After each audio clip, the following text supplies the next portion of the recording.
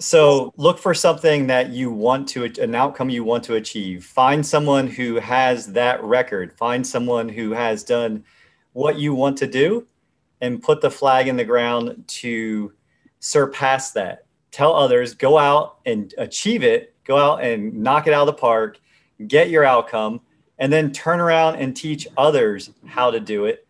Build your team, scale, multiply exponentially everything you want your life is right there. And if we all did that and just did 1% better every day, every day, everyone on this call, it would be a different ball game we were playing within a month.